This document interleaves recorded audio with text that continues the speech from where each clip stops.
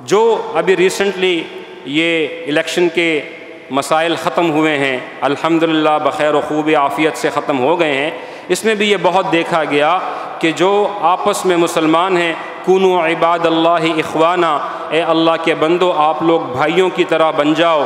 المسلم و اخ المسلم، مسلمان مسلمان کا بھائی ہے۔ لیکن نفرتیں اتنی پھیل چکی ہیں، اتنی پھیلا دی گئی ہیں کہ جو ایک اجتماعی مسئلہ تھا، اس کو انفرادی مسئلہ بھی بنا دیا گیا ہے اور اختلاف کو مخالفت بنا دیا گیا ہے۔ سب سے پہلے تو ہم اختلاف کا مطلب سمجھیں کہ اختلاف کا مطلب کیا ہے۔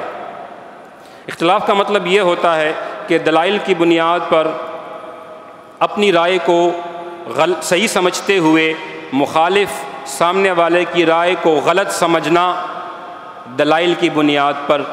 لیکن اس میں صحیح ہونے کا امکان بھی رکھنا۔ اس میں صحیح ہونے کا امکان، یہ نقطہ بہت اہم و ضروری ہے کہ ہم اپنے جو اپنی رائے ہے، اس کو تو صحیح سمجھے جو ہمارے پاس دلائل ہیں۔ کیونکہ اللہ رب العزت نے ہر انسان کی علیحدہ سوچ رکھی ہے، اس کے فہم کا دائرۂ کار رکھا ہے۔ کسی کا دائرہ چھوٹا ہوگا، کسی کا دائرہ تھوڑا وسیع ہوگا، کسی کا دائرہ اور وسیع ہوگا۔ اس کے لحاظ سے اس میں جو لیڈرشپ سکلز ہوتی ہیں، جو کوالٹیز ہوتی ہیں مینجمنٹ کی لیڈرشپ کی، وہ اس کے حساب سے ہوتی ہیں۔ اس لیے بہت سے چیزوں کا تعلق صرف محنت سے نہیں ہوتا، صلاحیتوں سے بھی ہوتا ہے۔